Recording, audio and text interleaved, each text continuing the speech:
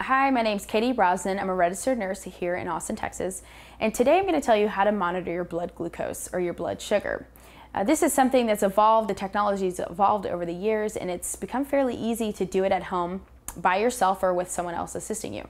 So the basic components I'm going to talk about are using a, a very basic blood glucose monitor.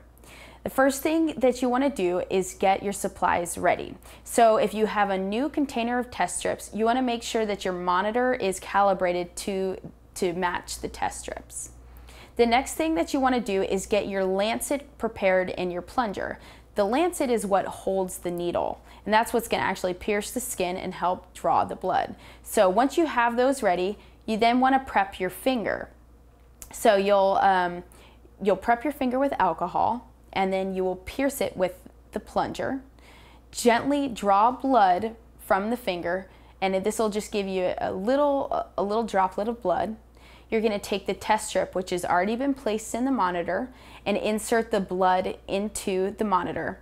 And then you just kind of wait. Hold the blood on the finger so that it's not bleeding too much as you wait for your test results. And the monitor will automatically um, develop the results for you. And then with monitors nowadays, they actually have options where you can say if it was at breakfast, at dinner, if you were doing exercise, and it will hold this information in a little storage compartment, a memory of sorts for you that you can take to your doctor when you go.